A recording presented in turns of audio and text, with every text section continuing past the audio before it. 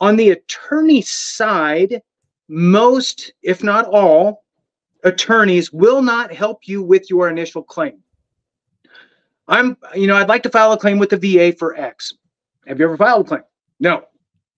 Go see an accredited rep somewhere, right? They are more about the appeal process, primarily to the board um, or to the U.S. Court of Appeals for Veterans, right? So they're either for the Board of Veterans Appeals or the U.S. Court for for Veterans, right?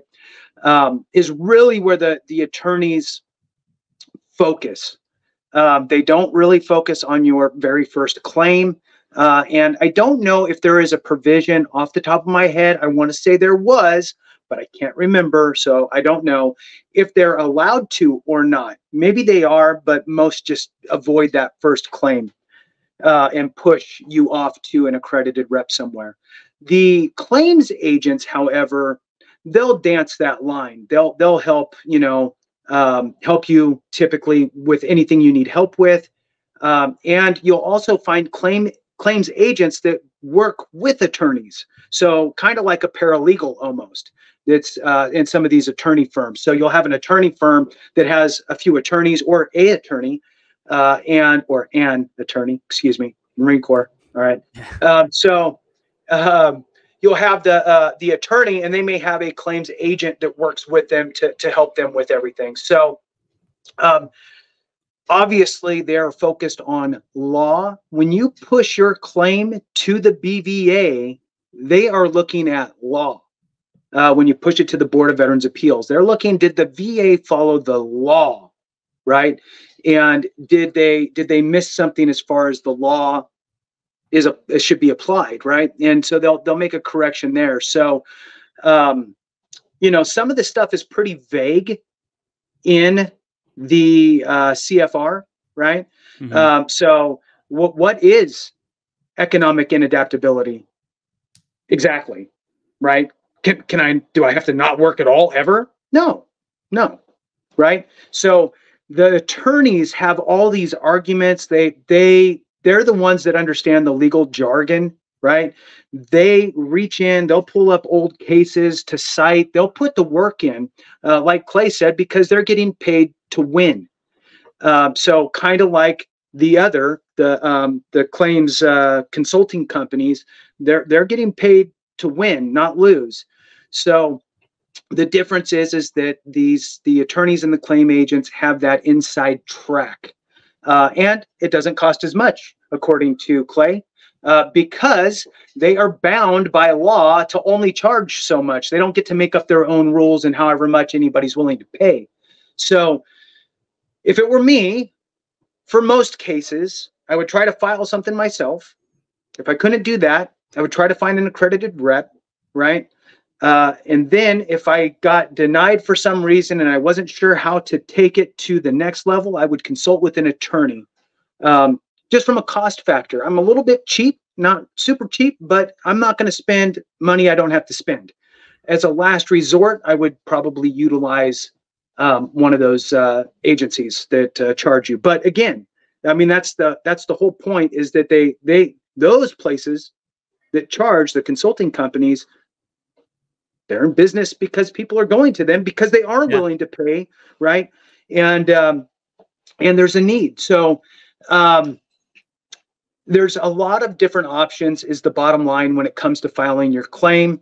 It's it's i think our big thing here uh, and correct me if i'm wrong is shining a little light on each one so people are aware of their options and where they can pull the trigger on each thing and what makes sense and what's going to be advantageous for for them with their claims processing uh, is there anything else did you want to chime in with there is um, because I, I, I try to remain objective this whole time, and I'm a fan of attorneys and agents personally. That's what I'm a fan of. But let's talk about the disadvantage, right? Just as I said, if a claims consulting company is charging eh, for a presumptive, specifically a PACT Act, I think that's a hard no go. In my book, should be prosecuted by law.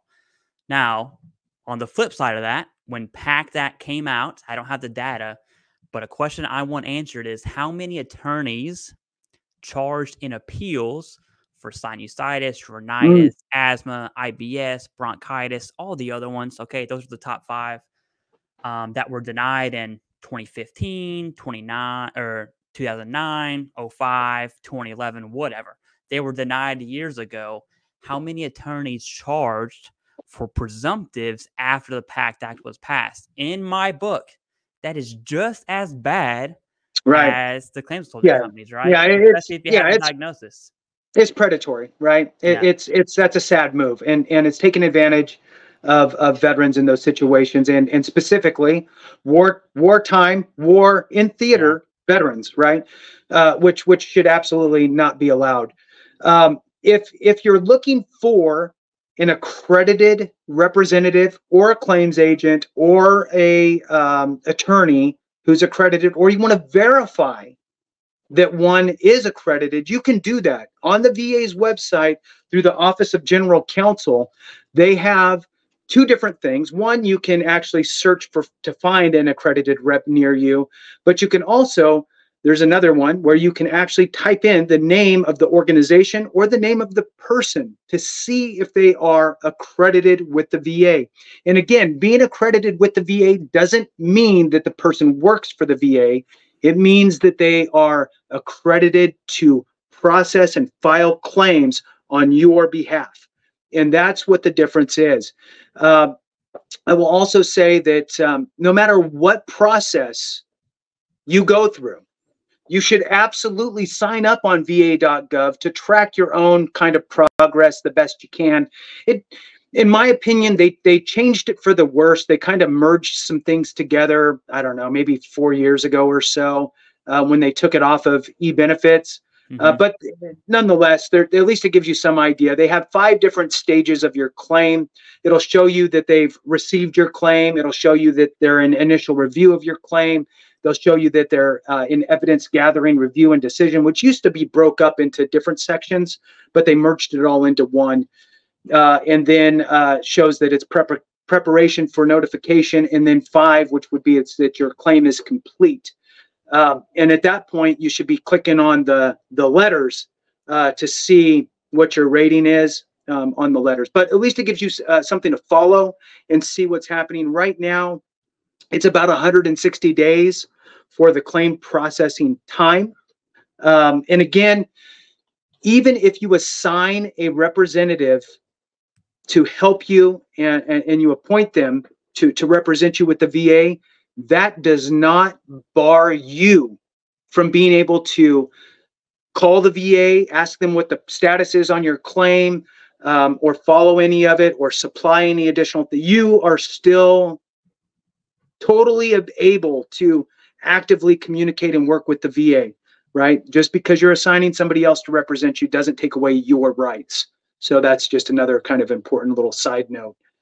Um, so with that, was there anything else that you wanted to throw in there? That was my kind of last two cents. My my very last two cents is yourself, VSO, attorney, agent, claims holding company, do whatever you want. My only ask is that whatever decision you make, it's an informed and educated decision. The only way, the only way you don't fall to a predatory practice, both on consulting and attorneys, is to just know you. That's it. Absolutely. Know you. Does my appeal for for sinusitis need to go to the board? Probably not, right? If I'm gonna if I'm gonna take a wild guess, probably not an HLR or supplemental is probably the way to go, right? And so, um, do I need to go to a consulting company for presumptive? Probably not. Okay. Now you don't know that unless you are informed and educated. So as long as you do you do those two things, make your choice, get what you've earned, what you deserve, um, and take advantage of your benefits. You know, I and I want to double down on what you said and just add a little more clarification for folks because I think it's really important. So when Clay's talking about appealing like sinusitis, okay, we'll use um, sinusitis for the Gulf War era. You know, you you were overseas in theater somewhere with burn pits, right? And we're going to use hypertension, high blood pressure for our Vietnam folks. If you filed a claim prior to the PACT Act being implemented, and you were denied your service connection for sinusitis or your hypertension, denied, right? VA denied you, and now you're like, well, that sucks. Then the PACT Act comes through. Well, the PACT Act took those two conditions, along with many others, and made them presumptives, which means now the VA will approve them. But the VA is not going to go back and go, hey, we messed up. We're going to fix that for you, right? You need to go back to the VA and say, hey, I filed for this before. I'm filing for it again. Here you go. And file that, that uh, supplemental claim showing that uh, you're filing for that benefit again. And now they're going to approve it because it is a presumptive condition. Okay. There's no, there's no, you know, extra work that needs to be done and trying to figure out a different way and put in more work. No, it was just a change in the law that made that a very easy condition, along with many others, by becoming presumptive. So that's what Clay's talking about. I just wanted to shine a little more yeah. light on that so people fully understand because it's disheartening, Clay. I mean, I'm sure you've been denied claims before. I have. And it's frustrating. And and I think that as a veteran community, you know, a lot of us go and you walk away and then mm-hmm. that's it.